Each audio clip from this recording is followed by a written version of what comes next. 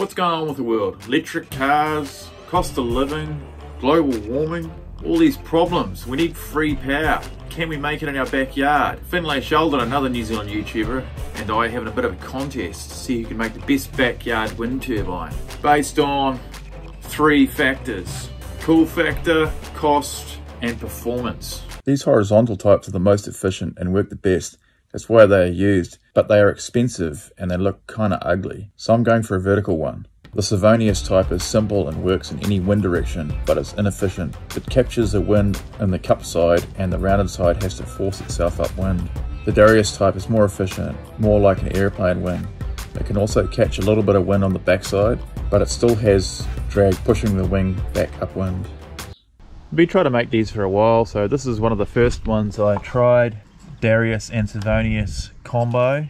So it's got the aerofoil shape on the outside and it's got the drag type to get it started, but it's not on a bearing or anything. It's also pretty small and there's a bit of wind, but does not work.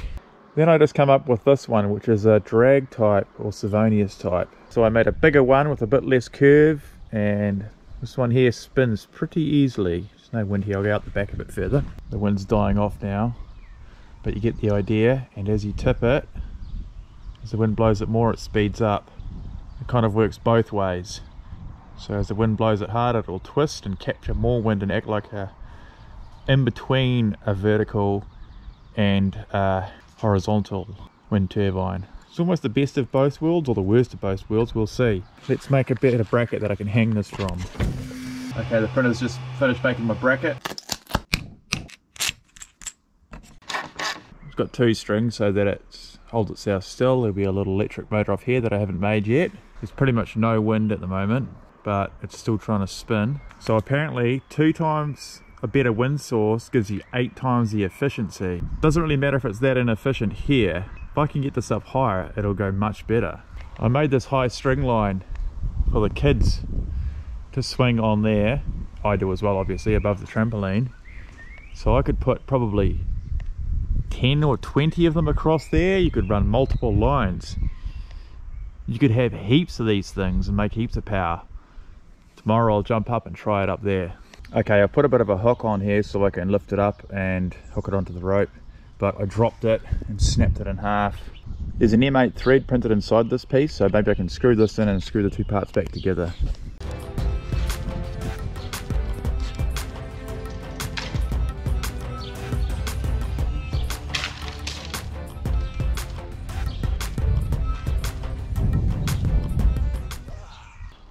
There we go, success. Yeah, so there's heaps of wind up there. It spins really easily. But we need to try and draw some power from it. So let's print something better. I know as soon as the wind picks up too, it's gonna blow off that hook and fall down. So I'll 3D print something better for that as well.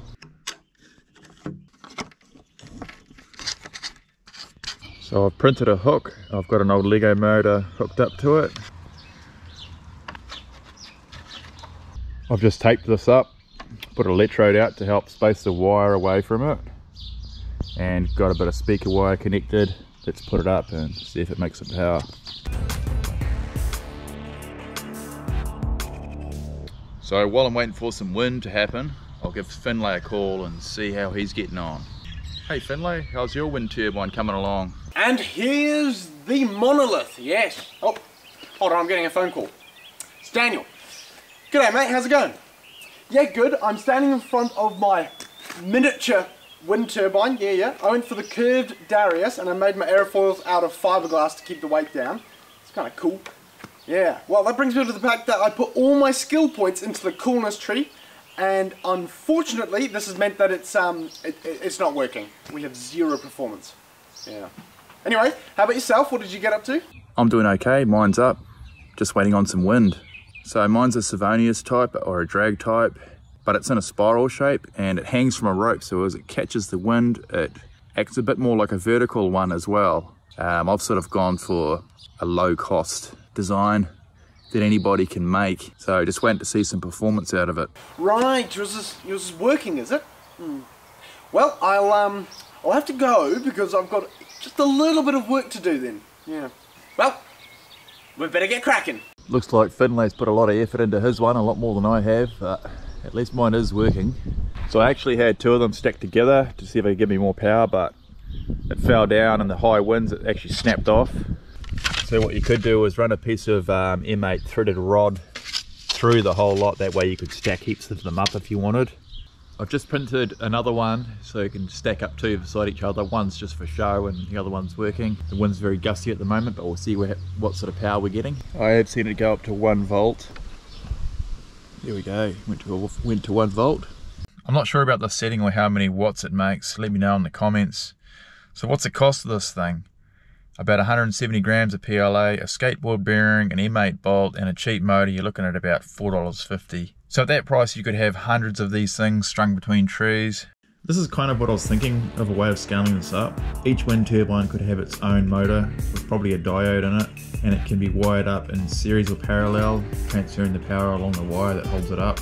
Maybe a whole forest full. Maybe instead of cutting trees down to build wind farms, you could use the trees to make power. Anyways, it's just an idea. Also, let me know what would be the best electric motor to use for this project or generator. If enough people want the files, I'll put them up on my CG Trader for free. Be sure to check out Finlay's video. Thanks for watching guys, see you in the next one.